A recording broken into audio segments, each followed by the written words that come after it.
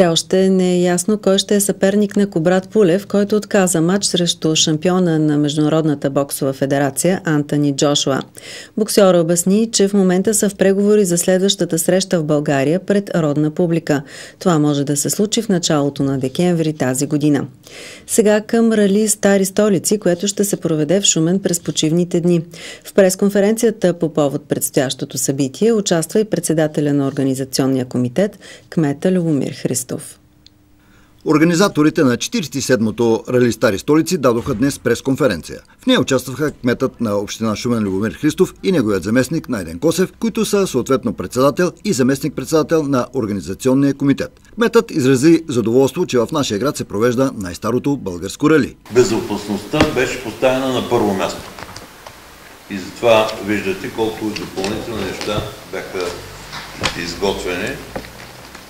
Организаторите поставиха едно от основните изисквания и положиха максимално усилия, за да осигурят безопасността както на водачите, така и на гражданите на Шумен. Директорът Савко Панайотов каза, че вече всичко е готово за старта и разясни на представителите на медиите някои специфични моменти. Неговият заместник Петър Минчев коментира списъка с заявките и акцентира на шуменското участие. Според него, Стари столици пак е едно от най-силните ралита, независимо от отсъствието на шампиона Пламен Стайков. Шумен е един от най-обичаните домакини на това състезание. В Шумен са идвали най-много екипажи винаги.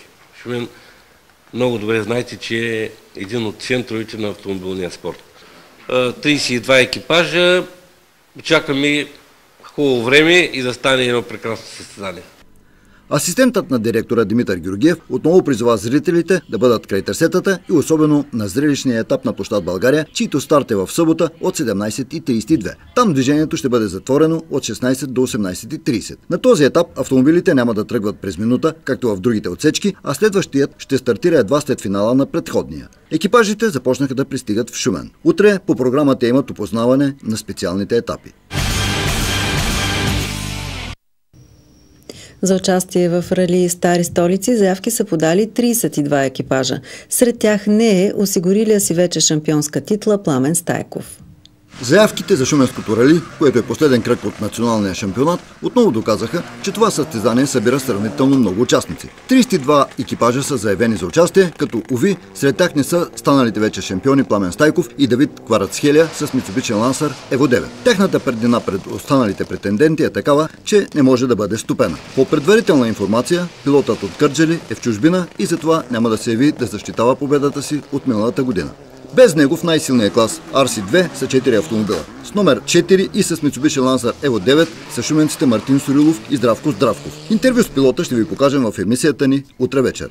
А трябва да поясним и защо Христо Атанасов и Марин Иванов с Citroen C2 и в RC4 са с номер 2. БФАС дала приоритет на състезателите в зависимост от класирането им в предишния сезон. За стари столици това са шампионите Георги Василев и Стефан Добрев и номер 1. Христо Атанасов и Игнат Исаев пък са с втори и трети състезателен номер. Те ще стартират първи в своите класове, но стартовият списък ще бъде друг и така Сорилов ще тръгне втори. Неговата голяма битка вероятно ще бъде с тандема от Варна, Йордан Атанасов и Ангел Башкия Хайов, които са с номер 5. Общо 20 са автомобилите с хомологация за националния шампионат на рали. Другите 12 в колоната са от групите Е, НС и от Марковия шампионат. В колоната са записалите вече десетки участия Стоян Апостолов и Емил Денев. Тук е и много напористият сливналия Дилян Станков с Рено Клио, който е в класа на Христо Танасов, RC4, но е четвърти във временното генерално класиране. С особен интерес ще следим изявите на двама много перспективни млади пилоти. Станислав Владимиров и Чавдар Събев са с Opel Astra и са вече шампиони в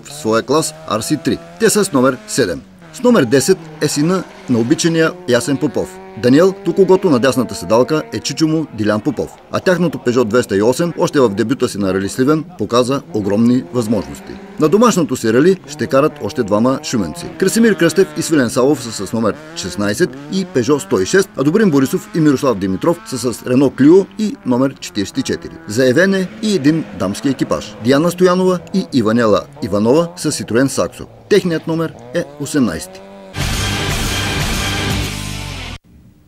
Завършваме с тъжна новина, отново свързана с рали спорта. На 79 години почина бившия победител в рали Стари столици Илия Бонев. Илия Бонев е дългогодишен участник и шампион на България на рали. Дълги години той е и капитан на българския национален отбор в тази трудна дисциплина. Пак дълги години пред неговия дом имаше много състезателни автомобили, вече грохнали, но с стара слава. Илия Бонев е печелил два пъти рали Стари столици. През 1974 с BMW 2002 TI и навигатор Злати Златев и през 1980 с Шкода 130 RS и навигатор Румен Бабев. Илия Бонев става майстор на спорта през 1969 година. Поклон пред паметта му.